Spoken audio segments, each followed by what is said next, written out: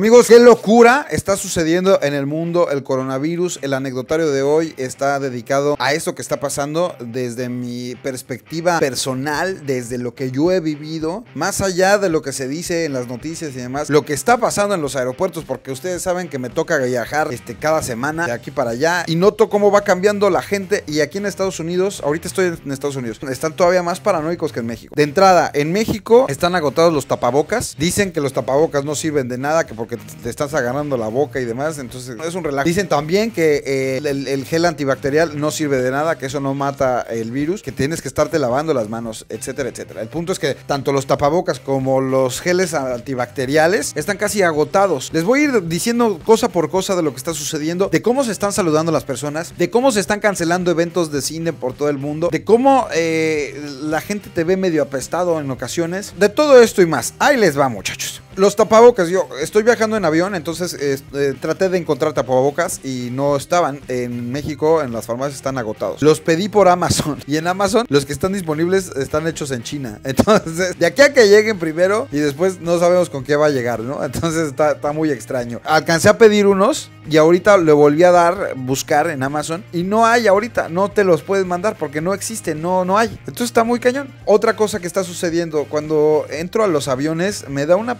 paranoia muy cañona. Tengo ahí a un lado a las personas que llegan con tapabocas y empiezan a echarle eh, como spraycito o si no eh, toallitas húmedas a limpiar todo el asiento, toda la mesa, la mesita del avión. Y entonces yo me empiezo a poner súper nervioso, así de, güey, ¿qué onda con estas personas? Yo lo que hago es traer pues, algo así, ¿no? Traer como algo con lo cual me pueda estar tapando porque de por sí a mí el aire del avión, el aire acondicionado del avión me da en la torre siempre, siempre este, me pongo más mormado de lo de costumbre, eh, me enfermo, etcétera. Pero aquí es peor lo que está sucediendo y es más difícil. Cuando llegué a migración de Estados Unidos, me tocó ver cómo llegaban las personas a dar su pasaporte. Eh, obviamente todos los eh, policías están usando, casi la mayoría están usando tapabocas o sobre todo guantes. Y ya que te reciben el pasaporte o visa, te dicen, hágase para allá por favor. Entonces tienes que estar en una distancia moderada con el, con el oficial, no puedes estar pegado como siempre en el mostrador. Te piden que te hagas este, un paso para atrás o metro y medio para atrás más o menos. Está como eh, curioso, ¿no? tienes que estar gritando, sí, ¿a dónde va? Aquí a Los Ángeles, ¿cuándo regresa? El viernes. Entonces, ¿a, ti no te pasó eso? No, el tuyo sí traía cubreboca. Ah, bueno, el que yo vi no tenía cubreboca. Y a todos le hacía lo mismo. Eran parejas y eran este, personas este, solas. Después llegamos el George y yo a las premiers. Eh, fuimos a la premier de A Quiet Place 2. Primero en las entrevistas dijeron, por favor, no están saludando de mano a nadie. O sea, no se atrevan a tocarlos. Porque no estamos saludando entre nosotros a nadie. Y entonces, bueno, ya aplica. Esto se puede unir con el anecdotario que hice alguna vez de los que no te saludan de mano. ¿Qué razón tenían? ¿Ves? Te dije. Jennifer Lawrence sabía lo que estaba haciendo. Bueno, aquí te, prohíben que toques a las personas. Y no a los famosos, a todo mundo. Llegamos a la, a la premier, a la alfombra roja, y entre los periodistas, entre los camarógrafos, se pasaban gel antibacterial. Y para saludarse se saludaban de codo y se saludaban de pie. ¿Ya viste lo de pie también? Mira, a ver, eh, vamos a hacer el ejemplo. Llegaban los, los, los camarógrafos. ¿Qué onda, George? ¿Cómo estás? Así se saludan. Y ahora lo que vi nuevo es así. la chocas con el pie, la chocas con el codo, así se está saludando la gente, pues para eh, mostrar cordialidad, eh, porque pues ya se convierte no solamente en una sugerencia, sino en una regla. Pero, eh, pero eso te saca de onda, ver, ver todo eso, te da una paranoia bastante importante, no sabes qué es lo que está pasando. Se supone que la forma de infectarte del coronavirus es a través de la boca, de la nariz y de los ojos. Entonces, si el virus anda por ahí, si te entra por ahí alguno de estos lugares, pues ya valiste queso. Sin embargo, algunas otras personas están diciendo que esto que está sucediendo es, es, una forma de provocar terror, porque todos los días se muere más gente de otras tantas enfermedades y virus y contagios que de coronavirus, y nadie está paranoico todo el día. Bueno, algunos sí, pero no están sonando en las noticias. Sé de algunas personas, cuando estoy invitando al, programa a algunos actores, y algunos me han dicho que están en las televisoras o en sus empresas prácticamente ya prohibiendo que viajen. No puedan subirse a aviones, no pueden hacer viajes largos porque quién sabe qué bicho se vayan a regresar a sus diferentes trabajos. Y entonces, pues obviamente eso también te da en la torre, ¿no? Los eventos de, cine. Iba a ir eh, esta semana, no sé si coincida, ojo, no sé si es eso o coincidió, pero iba a ir la próxima semana a la India, a Mumbai, a entrevistar a Chris Hemsworth y parece ser que el evento se canceló por completo.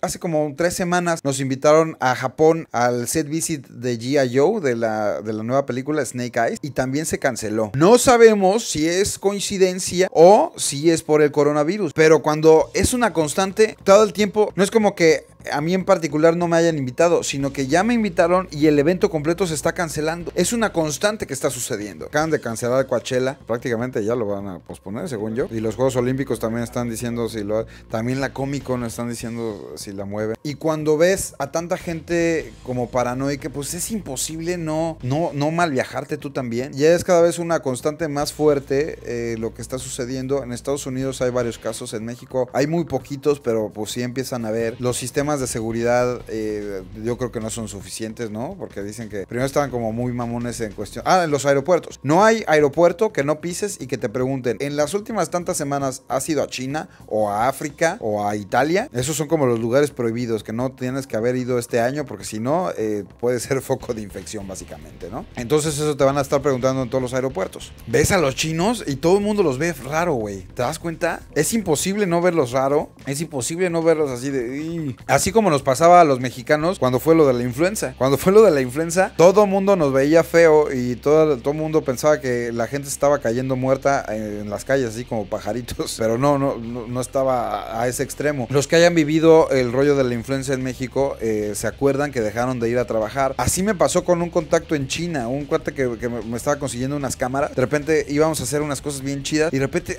dejó de, contestarme. Y yo dije, ¿y este güey? Ya, ya ni me contesta. ya le lo contacté, le dije, oye, ya no se hizo esto, el proyecto sigue. Lo que pasa es que cerraron las empresas, nadie ha ido a trabajar, nadie ha ido a la escuela, todo está así como ciudad fantasma, como pueblo fantasma. Hasta ahora eh, vamos a empezar a trabajar desde nuestra casa, pero imagínate lo que está sucediendo, o sea, esto va a tener repercusión a niveles mundiales, porque todo lo que no se está produciendo o todo lo que se produjo en China y no pudo salir, pues tiene que salir o no salir de alguna forma, me explico, va a estar desfasado, todo comercialmente hablando, todo lo que China está acostumbrado a exportar, imagínense los millones de cosas que, estamos hablando. Entonces las cosas están muy extrañas actualmente. Yo quiero pensar, el dólar se fue a 21 pesos con 21.50, ¿no? Llegó hasta 21.70 bien en algún momento. Yo quiero pensar que todo esto es una cortina de un... Es el neoliberal... No. no, quiero pensar que todo esto es parte de, de, un virus que existe. Estoy hablando desde tal vez mi ignorancia o tal vez mis buenos deseos. Yo quiero que pensar que esto es parte de lo que nos están mal viajando a todo el planeta. Nos la están aplicando grueso. Hay que cuidarnos. Pero creo que no va a pasar de este año. Esto se va a acabar relativamente rápido, pero también nos hace pensar y nos hace conciencia de lo que tienes que hacer. Para los que hayan vivido a la influenza, acuérdense, nadie usaba gel antibacterial, todo el mundo le valía un poco madres y después de eso existió un gradito más de conciencia para cuidarnos entre nosotros, para estar limpios y para no estar repartiendo bichos. Aquí yo creo que eso va a pasar esto a nivel mundial. Eso estaría bueno que por lo menos tuviéramos esa lección. Inclusive las personas, eh, la forma en que tratan puede cambiar también, porque si los latinos estamos acostumbrados al beso, a la papacho, al abrazo, etcétera, etcétera. Por ejemplo, los gringos son súper fríos, que si, eh, o sea, lo más que hacen es saludarte de mano y ya. Eso de abracito y de besito a la chingada. Tal vez eh, nos va a hacer conciencia de que no está chido hacer eso. Yo me acuerdo en los 80. Te lo juro, güey. Cuando yo era chavito, me acuerdo que no, se no era tan común saludarse de beso. Como que de repente se puso de moda y se hizo como ondita. Ahora es Aparte, me cuesta, te cuesta un trabajo saludar acá en Estados Unidos, ¿no? Es en México, hacemos estrechada de manos, abrazo y cerramos con el estrechado de manos. Y en Estados Unidos, aparte, están bien güeyes porque le haces aquí y lo correcto en México se usa juntar corazón con corazón. Es hacia la izquierda. Y los güeyes estos en Estados Unidos ponen su derecho con tu izquierda y entonces parece que te vas hasta dar un beso. Igual las mujeres. Está medio confuso eso. Tal vez se uniforme una manera de saludar para que todo sea mucho menos personal y que nada más a las personas de tu familia, personas que ames muchísimo, puedas este, pasar esa barrera física. Esa es mi experiencia con el coronavirus, es algo que está sucediendo actualmente, es algo que se vive en todos los aeropuertos de México y todos los aeropuertos de Estados Unidos. He estado en los principales eh, en las últimas y varias veces en las últimas eh, semanas en Miami,